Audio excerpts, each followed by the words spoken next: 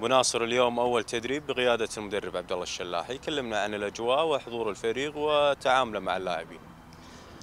آه، بسم الله الرحمن الرحيم. طبعا اليوم أول تمرين للكابتن عبد الله الشلاحي بعد إغالة المدرب البرازيلي سلفا يعني بفضل رب العالمين آه، الأجواء إيجابية اللاعبين آه، نفسيا طبعا متقبلين التغيير وسعيدين فيه.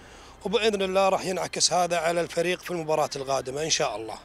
شنو المطلوب من عبد الله الشلاحي اليوم؟ خصوصا انه استلم الفريق في هذا الوضع اللي أنت عارفه والكل عارفه إن نادي الجهره بالمركز الأخير بالدوري خروج من كاس ولي العهد شنو المطلوب من عبد الله الشلاحي في القادم طبعا إحنا لما قعدنا مع الكابتن عبد الله قبل لا نوقع وياه يعني شرحنا له الأمور كلها.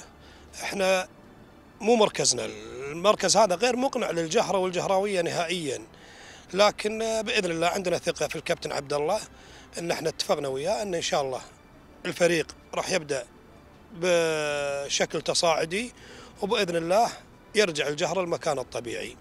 إحنا ما نطالب عبد الله الشلاح ببطولة ولا لكن نطالب إنه والله يرجع الجهراء المكان الطبيعي. وبإذن الله بجهود اللاعبين وجهود الكابتن عبد الله والجهاز الإداري يرجع الجهراء المكان الطبيعي.